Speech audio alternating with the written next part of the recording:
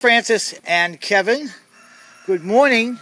Here is a little video of your two little girls. And so Frances is on the left, Kevin is on the right.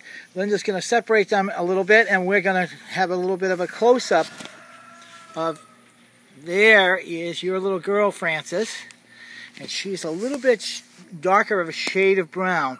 It's just a slight shade. But there she is, eyes wide open. She's ready to go. Hello, world. And Kevin, you can see your little girl in the background. Now let's get her up front.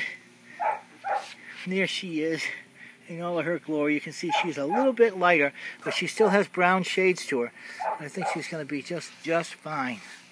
But anyway, there she is. So look forward to talking with you later and showing you some more pictures. That's it for now.